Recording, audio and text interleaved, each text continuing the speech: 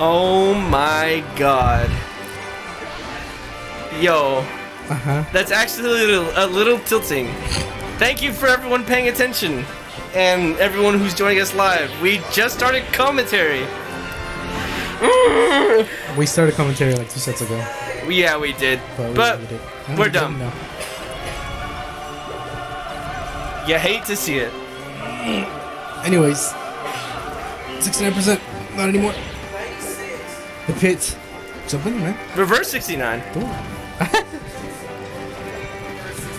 Oh, they're just throwing out a bunch of hitboxes. Oh, there it is. Ooh, oh my goodness, it clanked. The nair, okay. Reverse nair. Oh, oh my god, he was trying to be sneaky. Oh, throw up throw upper? Yep, guaranteed. Hits against the TV. And F smash? Okay, no. I don't know if he messed up there. Maybe he wanted a nair, but he shot. Oh, he got caught with side B, but it doesn't matter. Trades to the fair. Up B lands. I like that. I like that. To get a little bit more percent. There you go. Zipper up. Tip. Yep.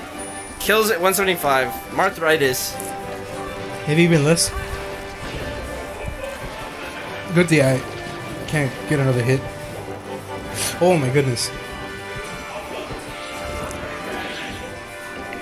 So it's very early percent.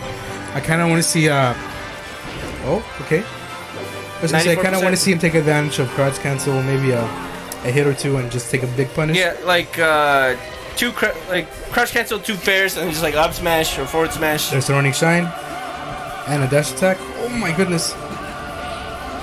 The attempt. Oh, okay. One caught him. Oh, 59%. We're getting slowly but surely. too much. He has to take Yeah. the stock right now.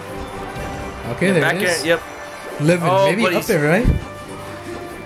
Like a swanton? Is that what you mean? Like Nice. just yeah, like fall, fall drop, up jump, falling up air. But uh, regardless, he still took the stock. Yeah, up throw. Oh, he, he's at up throw tipper percent. He's got to watch his DI and up throws. There smash, grab right ledge. Another one? Yeah. Yep. Now, now that one for sure he's gone. Grab ledge. Another uh, one dominated set. Yep, 3 1. 3 1.